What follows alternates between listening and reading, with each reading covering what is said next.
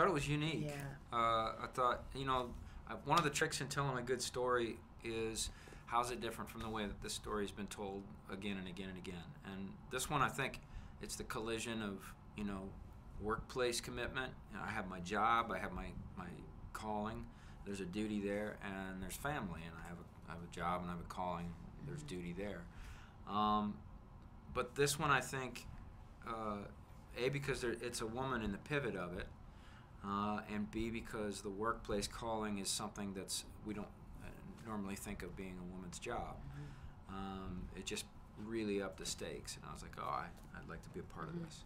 Yeah, same for me. I've never heard this story um, from a, a female perspective. Um, I think um, stories about female veterans are, are nearly absent from, from our culture. So, from my point of view, I was completely enlightened by it when I read it, and I was just struck at the substance of this particular character. And I hadn't read anything um, as good as this in a really long time. And and I really wanted to be a part of it. And then when I sat down with Claudia Myers, um, our writer director, um, I think within 10 minutes I knew I wanted to make it with her. She was just this wealth of knowledge um, in terms of the military and, and what she had done um, on behalf of them in terms of her research. So both of you guys play really complicated characters, and I feel like you guys never get to experience happiness in it. It's a really small fraction of it. Um, can you guys explain like what what are each character's motives and why are they why do they have so much animosity with each other? You know, like where does it all come from? Well, you know, they're in a tough situation.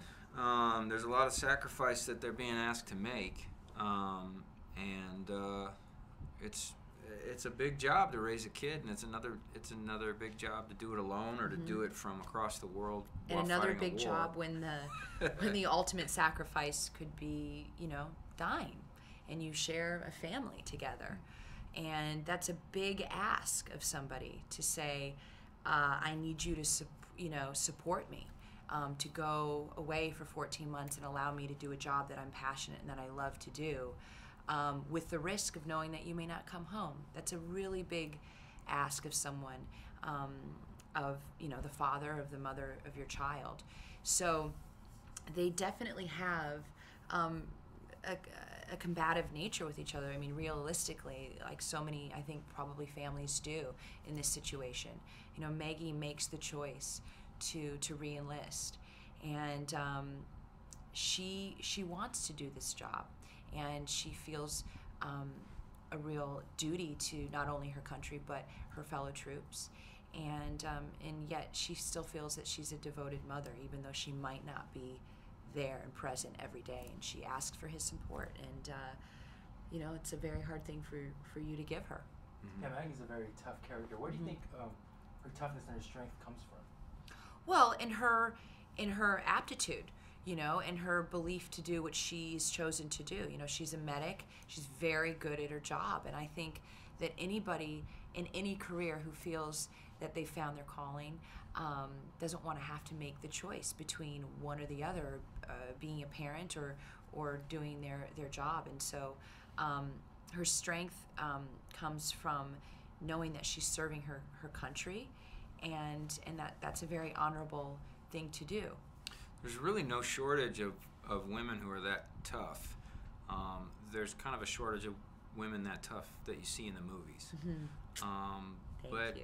I, you know, I, I grew up with uh, aunts and uncles and great aunts, and you know, and uh, you know they were some tough broads. You know, um, yeah, and I think Maggie's cut out of that cloth. You know. And in your opinion, do you guys think parent is um, is a duty in itself? So in that way, some people are not cut out to be it, or is it something it's a learning process? Do you, everyone just has that? What do you what do you, what is? Are you asking about parenting or yeah, about the being a, military? being a parent because Maggie's really good being a soldier. Parent, she doesn't really have enough experience in it. You know, it, it's hard for her. You know, it's really I think what's hard, I don't, I don't question her parenting. I think that it's hard for her to, to reconnect. I think she has that desire to to parent and to, to be there. And I think it begs the question, you know, can you parent long distance? Can you be as much of a, a, a of an influence?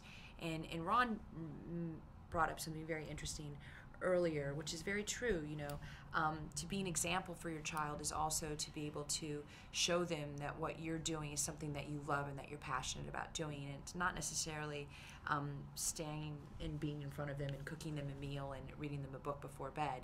You know, it's also being proud uh, of what you do and, and showing them um, that that's something that they'll too have one day and that that should be supported. Yeah, men have been parenting long distance for a long time now, you know. Yeah. And I think uh, we don't necessarily call them bad parents, right? right? I think that's what's interesting about this because it begs the you know double standards, you know, um, and and I think that's what's really sort of important is it makes people sort of more thoughtful about well what are the traditional roles and why um, why can't they be switched up? You know, we're um, in the 21st century, do you Mhm. know, and um, and there are a lot of women serving active duty. There are over 200,000 women serving. Over 40% of them are parents, and so this is um, this is a real story that's happening to real to real people, and um, and I think that um, you know it, it we're just trying to shed some light on that.